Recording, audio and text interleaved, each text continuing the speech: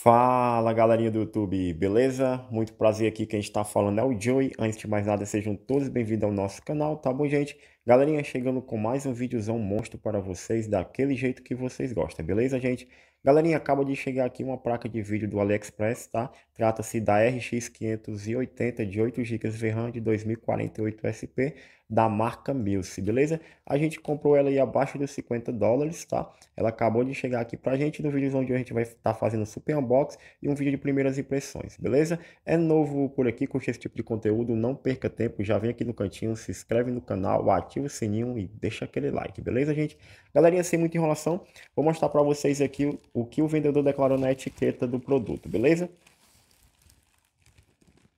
Gente, segue aqui o código de rastreamento se você quiser acompanhar, tá? É, demorou cerca de 12 dias corridos para chegar na minha residência, tá? Essa placa de vídeo. Eu paguei cerca de R$ 305,13 nesse produto. Desse valor foi pago R$ 51,89 de imposto, beleza?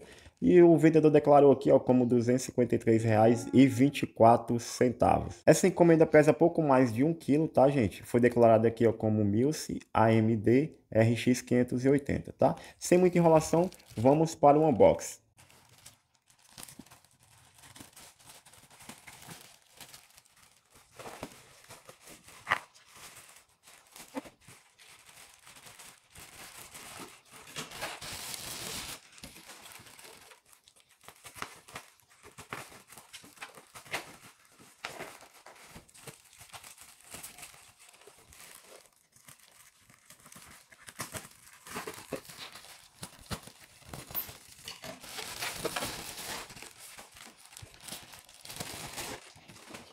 Então, gente, conforme vocês viram, tá? A placa de vídeo veio bastante bem embalada, tá? Essa aqui é a caixa da própria, tá?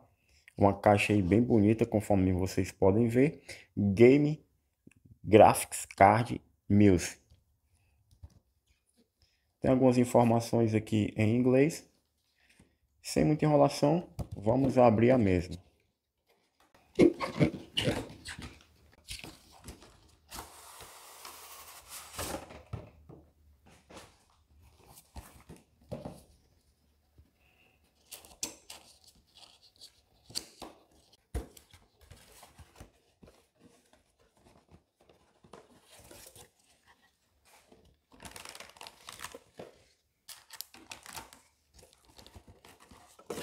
Não tem mais nada aqui dentro da caixa.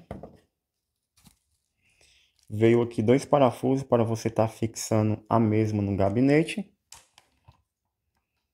Veio aqui o manual da MLLSE ou então da Mills, assim você queira falar ou pronunciar. Algumas informações aqui em inglês, tá? E mais esse cartãozinho aqui em inglês e em chinês. Tá aqui a nossa placa de vídeo, beleza? Ela veio bastante bem embalada, conforme vocês viram. E veio aqui no plástico antistático. Lacrada.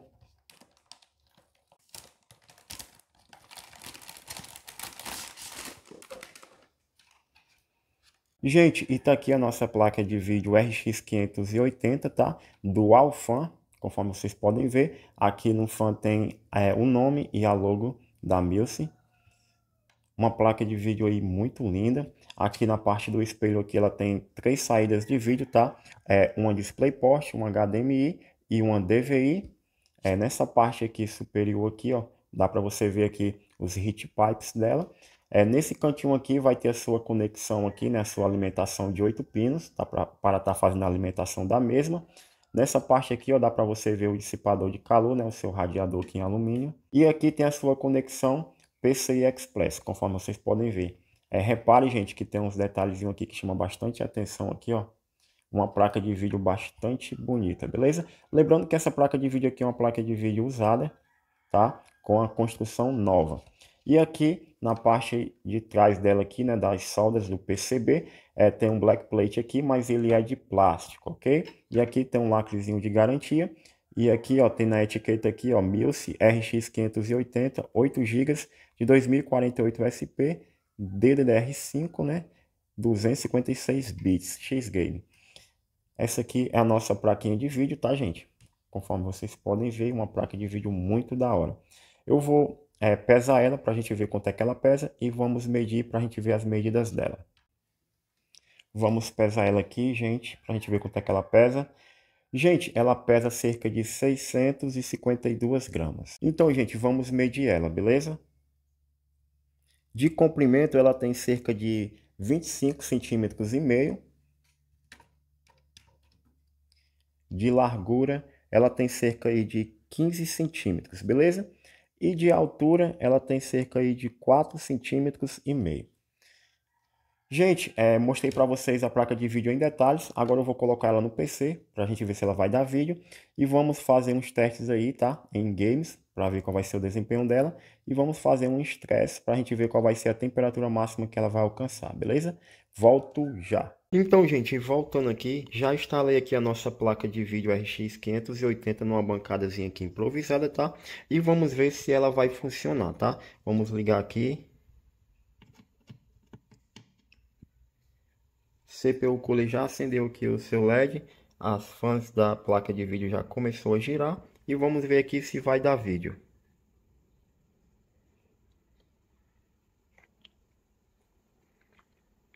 Vamos lá, vamos lá, bipou, deu vídeo. Vamos esperar mais um pouco aí, ver se carrega o Windows.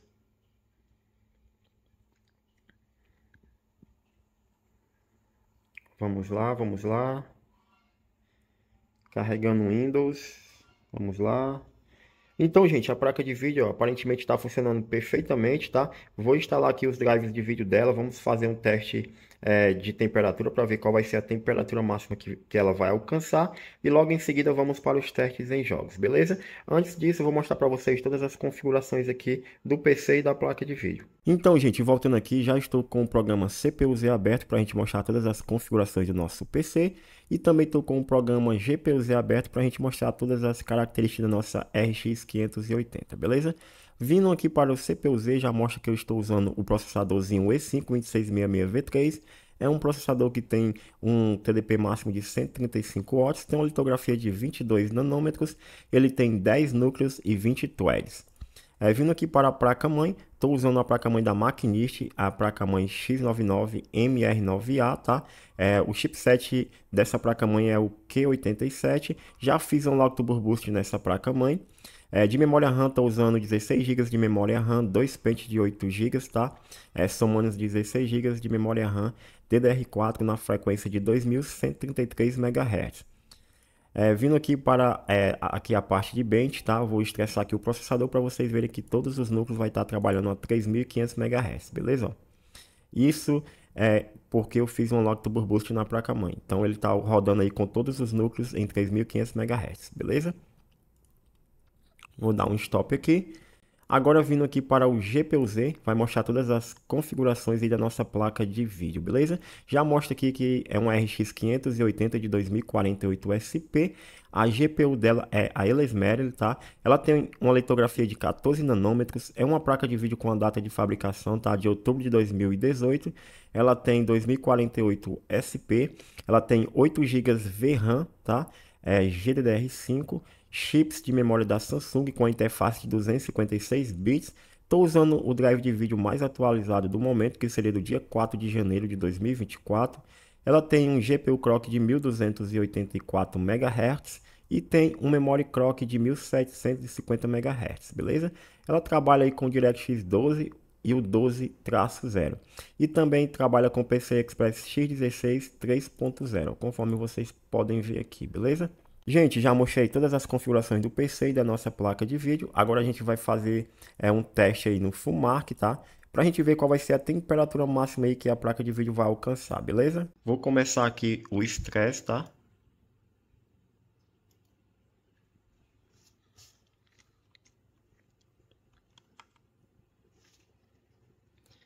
Temperatura nesse exato momento da placa de vídeo, ó, conforme vocês podem ver aqui, ó.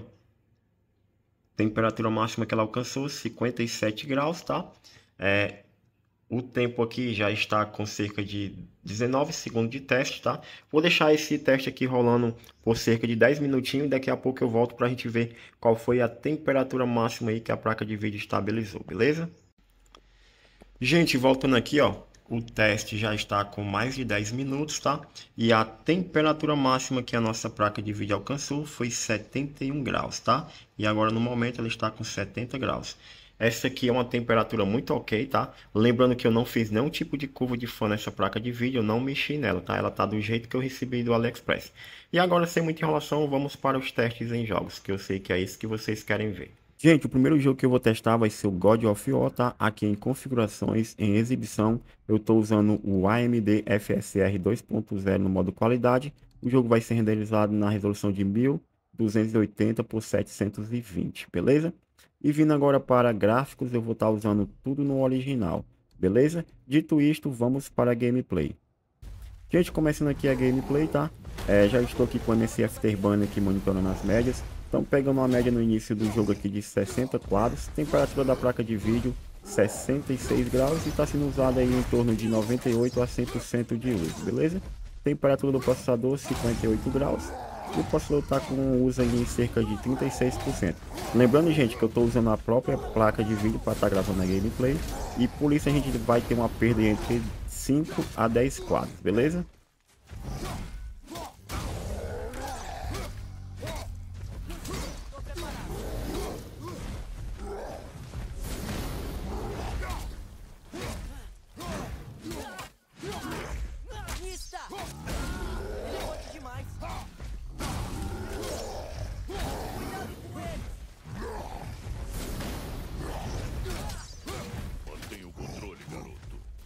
Gente, voltando aqui, conforme vocês puderam ver, tá, o desempenho na nossa placa de vídeo ficou um desempenho muito da hora, tá? A temperatura máxima que ela alcançou aqui no God of War foi uma temperatura de 69 graus. O uso dela ficou variando em torno de 94 a 100% de uso, tá? E a gente ficou com uma média aí de 59 quadros, beleza? Sem muita enrolação, vamos para o próximo jogo. Próximo jogo que a gente vai testar agora, gente, vai ser o Days Gone, tá? Vindo aqui em opções, tá? Em imagem, eu estou usando aqui a resolução de 1920 por 1080 Full HD nativo, tá? E vindo aqui para gráficos, estou usando tudo no médio, beleza? Sem muita enrolação, vamos para a gameplay. Gente, começando aqui a gameplay, tá? É, já estou com esse Afterburner aqui monitorando as médias. Estamos pegando uma média agora de 58 quadros, 59 quadros aqui no início. A placa de vídeo está com a temperatura de 70 graus, está sendo usado aí 100% de uso.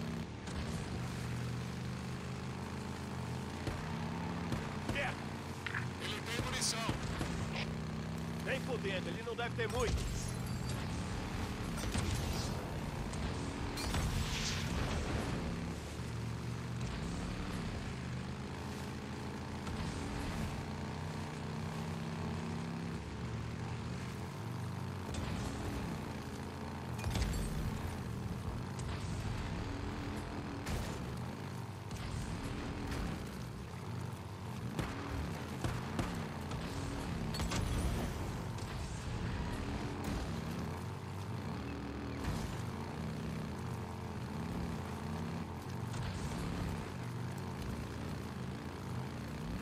Gente, e aqui no Days Gone a nossa placa de vídeo alcançou uma temperatura máxima de 70 graus, tá? O uso dela ficou variando em torno de 95 a 100% de uso e a gente conseguiu uma média de 59 quadros, beleza? Sem muita enrolação, vamos para o próximo jogo. Próximo jogo que eu vou testar, gente, vai ser o Spider-Man Remaster, aqui em configurações, em exibição e gráficos. Estou usando a resolução de 1920 por 1080 Full HD nativa e aqui em gráficos estou usando aqui o gráfico no médio, beleza? Dito isto, vamos para a gameplay. Logo no início aqui da gameplay, gente, a placa de vídeo está com a temperatura aí de 67 graus. Está sendo usada aí pouco mais aí de 98 a 100% de uso. E estamos pegando uma média aí de 49 quadros.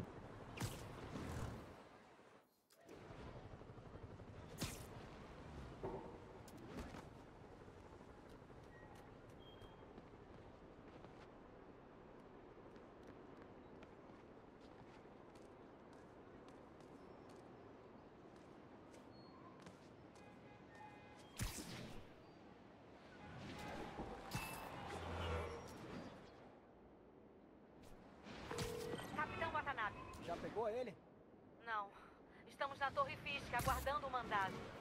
Posso participar dessa festinha? Você sabe como são os advogados dele. Temos que seguir as regras. Poxa, Yuri, esperei oito anos por isso. Quer mesmo ajudar? vai pra Times Square. Parece que os caras deles estão tentando impedir meus reforços de chegarem à cena. Pode deixar. Tô chegando.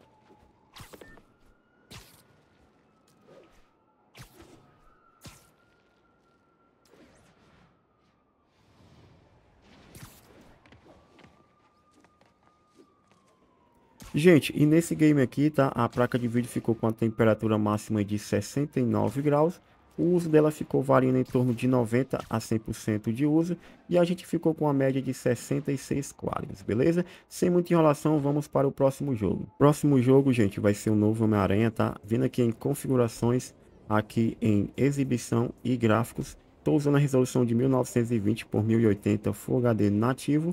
E aqui em gráficos estou usando tudo no médio, beleza? Sem muita enrolação, vamos para a gameplay. Gente, começando aqui a gameplay, logo no início aqui, a gente já vê que a nossa placa de vídeo está com a temperatura de 66 graus, está sendo usado 100% de uso, e a gente está pegando uma média de 63 quadros. Perdi o comboio? Não. Ainda estão prendendo alguns detentos. Deve ser bom ver os caras que fugiram no ano passado voltarem pra balsa. Muito bom mesmo. A balsa é feia, mas é segura. Se as falhas ligadas ao Otto tiverem sido consertadas, Tomara. Tá bom, eu tô chegando. Logo, logo eu tô aí. Eu vou avisar minha mãe que eu vou atrasar. Miles, e aí? Você pegou a lista de compras? Oi, mãe. Sim, mas é. A mercearia tava sem leite de coco. Eu vou numa loja do centro, tá? Ah, obrigada. Mas não vai pra Midtown. O comboio da prisão deixou o trânsito horrível. Ah, sim. Verdade. Até a janta, mãe. Nossa, cara. Como o Pete lida com esse lance de identidade secreta? Eu fico mais estressado que não sei o quê.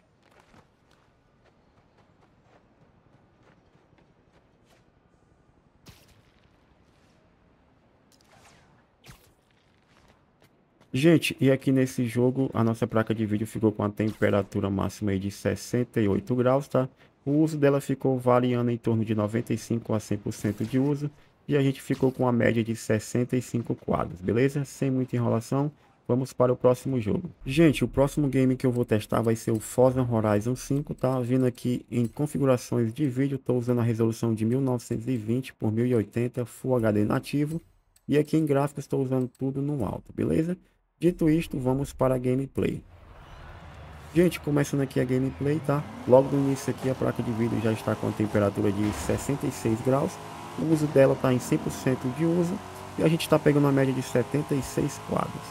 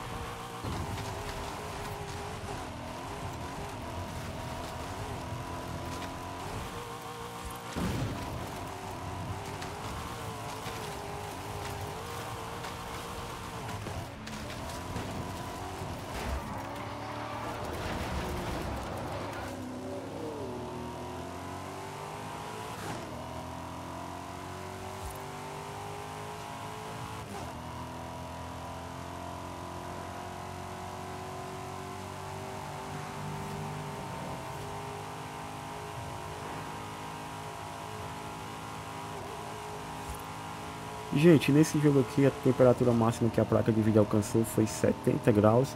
O uso dela ficou variando em torno de 98 a 100%, tá? E a gente ficou com a média de 82 quadros, beleza? Sem muita enrolação, vamos para o próximo jogo. Gente, e o último jogo que eu vou testar aqui nessa gameplay vai ser o CSGO 2, tá? Aqui em vídeo estou usando a resolução de 1920 por 1080 Full HD nativo. E aqui em gráficos avançados estou usando tudo no baixo, beleza? Sem muita enrolação, vamos para a gameplay. Gente, começando aqui a gameplay, logo no início aqui a placa de vídeo já está com a temperatura de 66 graus, o uso dela está em 100% de uso e a gente está pegando uma média de 150 quadros.